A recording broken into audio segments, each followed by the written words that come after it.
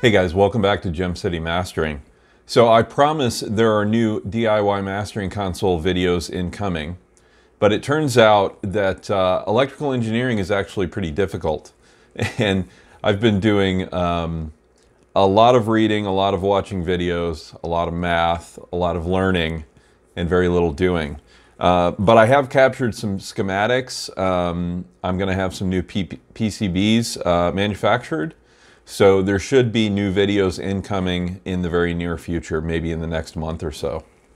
And uh, I'm looking forward to that. But in the meantime, I thought I'd do a video on my new oscilloscope. So this is my new scope. Um, it is a Siglent SDS 1104XE. It is a four channel 100 megahertz oscilloscope. Uh, it's one gigasample per second per ADC.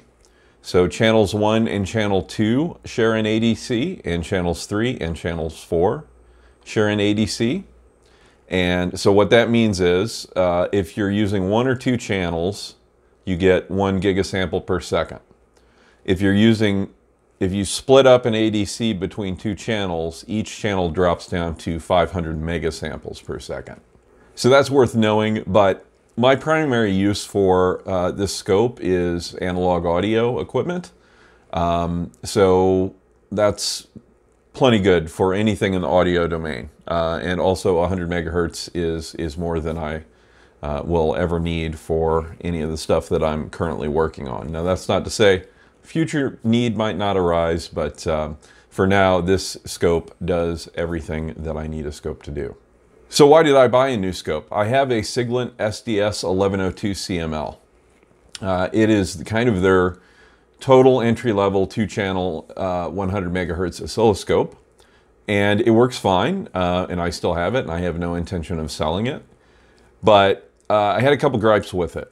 Uh, first of all, though I don't need four channels, I can do everything I need with two.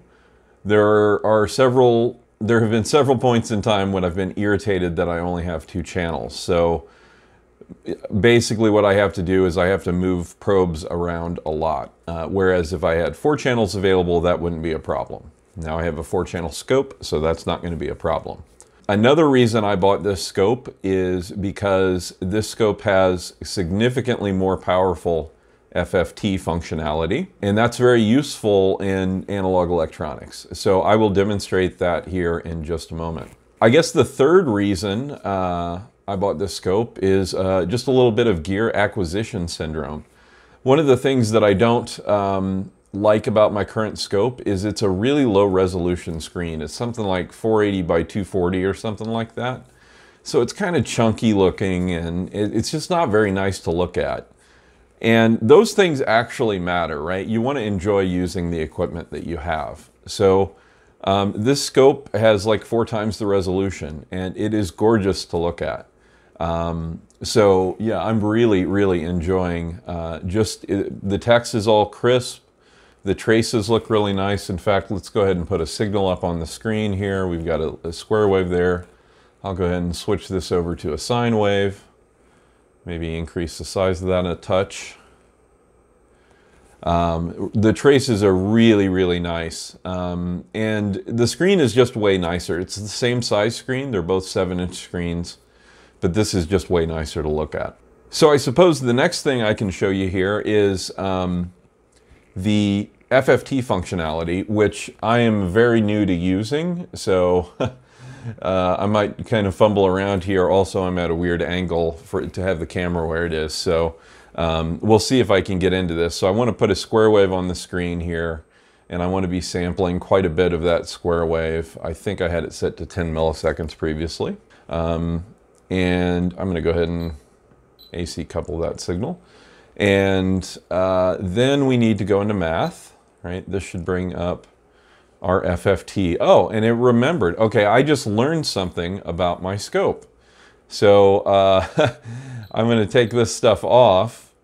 Um, that's really cool that it remembered. It's even been through a power cycle. So I kind of rehearsed this beforehand. Uh, I wanted to make sure that I knew what menus had contained everything, and I set it up for the signal. And as you can see, it has retained my settings, which is really cool. Um, So essentially what I wanted to do is show you this FFT. So we've got a square wave here. Uh, our time base is 10 milliseconds, so we're sampling a good, a good percentage, a good long duration of this uh, square wave. And we've got um, an FFT here that is kind of basically covering the audio frequencies. So uh, this is our primary uh, one kilohertz signal right here. So there's there's more down that direction, but we don't really need to see that. We're primarily concerned with the upper harmonics here. Um, and the uh, the scale in this direction is uh, dB volts. Um, so frequency across this uh, this uh, axis and and dB volts on this axis. So what we're seeing here is the harmonic content of that square wave. Uh, square waves have a lot of harmonic content. And uh, it remembered everything, so you kind of got a little preview there of what I was going to show you. Um, if we go into Tools, and we tell it we want to identify the peaks, it's going to identify all of those peaks, so one, two, three, four, five, six. Um, and then we can show the table, right? Um, there we go. So that is showing us our amplitude at each of those peaks. But we can also show the frequency on that table. And in fact, um, I'm going to go in and get rid of the oscilloscope. This is another nice thing that you can do with this particular uh, model is you can do split screen, you can do full screen where you do an overlay, or excuse me, you can do exclusive. So if I only want to look at the FFT, uh, I can just pull that up. But we'll go ahead and go back to split screen. And this is, so let me kind of explain, it, you know, if you know your way around analog electronics, you're going to know all of this. But, um, and I'm also very new and learning all of this stuff. So let me explain why this is important. Um, essentially, what this harmonic content would allow us to do is when I'm working on a, a circuit, that I'm designing for my mastering console, if I've got op amps or balance line receivers or balance line drivers or transformers or any of those kind of cool gadgetry for analog audio electronics, each of those um, devices has the potential to um, generate harmonic distortion. And a square wave is the perfect example of harmonic distortion because it's just filled with harmonic distortion. By contrast, I can switch over to a sine wave here. Um, I, I do believe I'm actually taking averages here, so I'm going to set this to normal mode, and then um, all of that should disappear. Right, so all of our harmonics have gone way down because I'm now sending it a sine wave. And that's another really cool tool that I was going to show you. So we're going to go back to the uh, square wave here.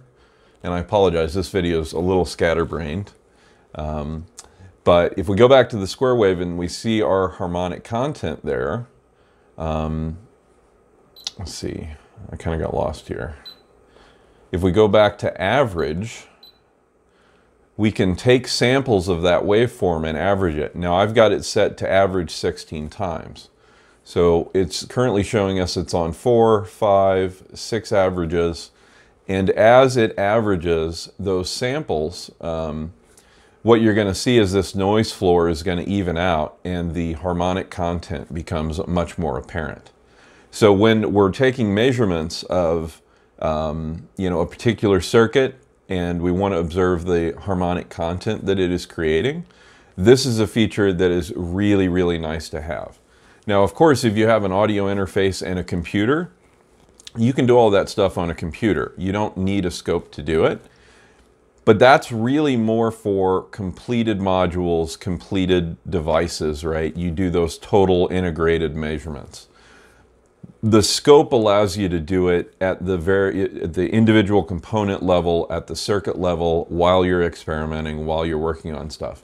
And it gives you a really good kind of idea of, you know, if you're creating distortion or anything. So this is this was a feature that is um, uh, was very important to me my existing, my older scope has an FFT. It's it's basically useless. Um, it'll display it. It doesn't really tell you anything.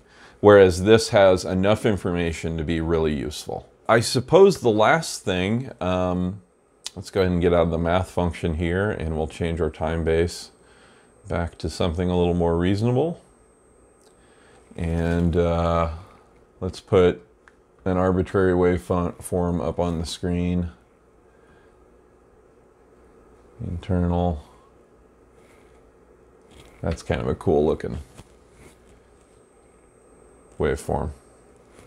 So the other thing, uh, this might be a little out of, out of focus, but it's just a preview. I also got a new scope, a Brymen 869S that I ordered from Poland. Uh, and maybe I'll do a video on this uh, in the near future. So that's my scope. I hope this video was informative and interesting, and I'd love to hear from you if you have any questions or anything. And yeah, let's go ahead and turn on channel 3 too and put a signal on there, just so we can have something fun to look at. So yeah, that's the end of this video. Um, thanks for watching. Uh, like I said, DIY mastering console videos are incoming, so stick around for those. And we'll see you on the next video. Bye-bye.